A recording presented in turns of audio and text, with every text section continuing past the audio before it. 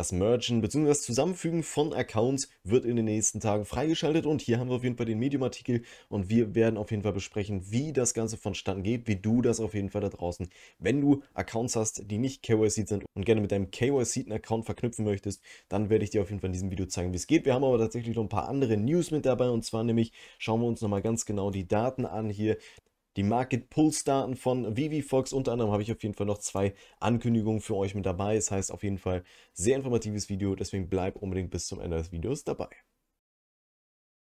Willkommen an Bord, ich bin dein Captain, dein Vivi-UG mit den wichtigsten Vivi-News, die du auf jeden Fall da draußen wissen solltest. Und ich würde sagen, wir starten heute relativ schnell rein, denn es geht nämlich um das Merchant von Accounts, das dich bestimmt interessieren wird. Ja, und ich würde sagen, wir starten auf jeden Fall an dieser Stelle auch direkt hier mit dem Artikel rein. Ich werde euch den nochmal unten in die Beschreibung packen, wenn du da einfach nochmal selber nachlesen möchtest, was das Ganze ist und wie das Ganze funktioniert. Um eine kurze Erklärung zu geben für die Leute, die keine Ahnung haben, was das Ganze denn jetzt hier überhaupt ist.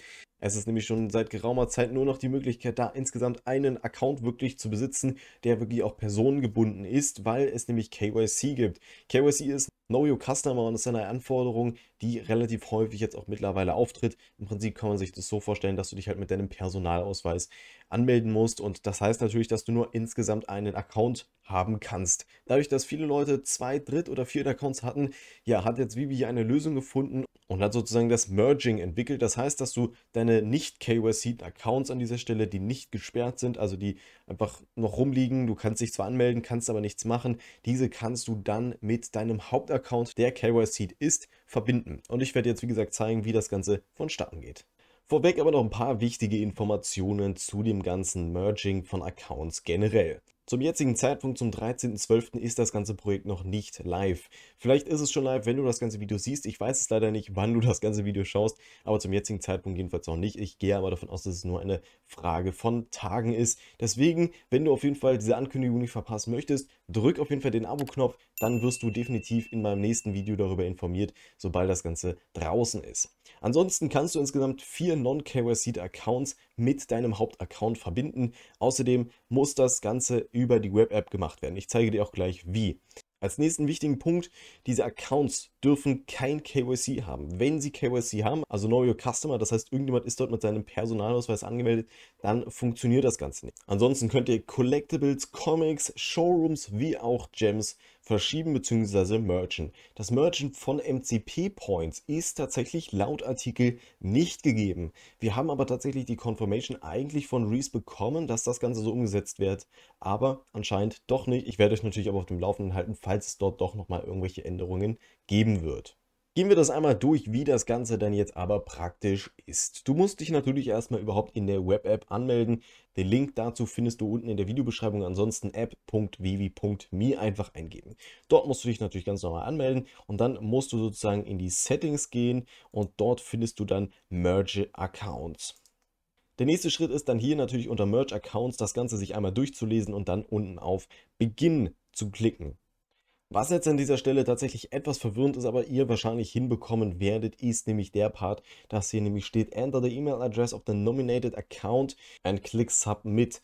Das ist ja schön und gut, aber im gleichen Zuge steht nämlich danach im Schritt 5, you will require to enter the 2FA code from the requesting account and the nominated account. Das heißt, dem Account, wo ihr das Ganze hinsettet und natürlich dem eigenen Account. Das ist schön und gut, aber es gibt ja tatsächlich nur den Schritt.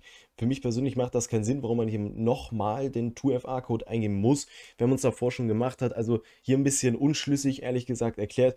Wenn ihr das Ganze dann aber hier habt und alles eingegeben habt, dann müsst ihr natürlich nur noch auf Next klicken und dann wird das Ganze versendet. Was ganz wichtig ist, insgesamt 48 Stunden braucht das Ganze, um eure Collectibles rüber zu schicken auf den anderen Account.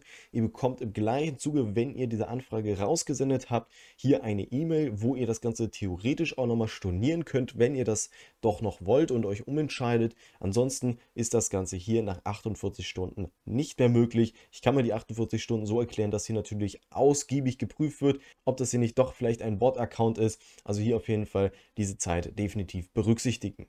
Und das war es im Prinzip mit dem Merging von Accounts. Wenn ihr noch Fragen habt, stellt die mir unten in die Kommentare. ansonsten würde ich sagen, schauen wir uns auf jeden Fall den nächsten Post an. Und zwar nämlich von der guten Vivi Fox. Wir sehen hier momentan die aktiven Wallets, die tatsächlich steigen mit 9,1%. Aber die Market Trader lassen tatsächlich nach mit minus 6%. Die Market Käufer bleiben etwa bei 0,7% plus.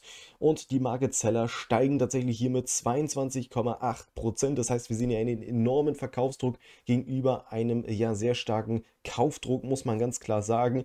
Also wir sind ja wirklich momentan immer noch in einem ordentlichen Downtrend. Mittwoch ist wieder Giveaway-Time und zwar werde ich nämlich am Mittwoch um 20 Uhr deutscher Zeit wieder mit zwei Comic-Experten live sein, nämlich mit dem guten Chris Vivireisen und dem Enrico und dort wird es auch das ein oder andere Giveaway geben, deswegen komm sehr gerne auf jeden Fall vorbei, wenn du das Ganze nicht verpassen möchtest.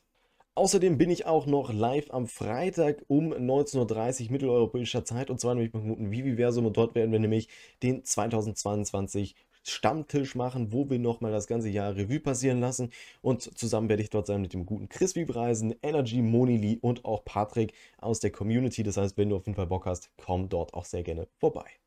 Und das war es an dieser Stelle auch schon wieder mit diesem ganz kurzen Video. Wenn dir das ganze Video gefallen hat, gib dem ganzen Video sehr gerne ein Like. Und ansonsten bedanke ich mich auf jeden Fall bei dir da draußen fürs Zusehen und wünsche dir noch einen wunderschönen Morgen, Mittag oder Abend. Bis dahin, dein Captain. Ciao, ciao.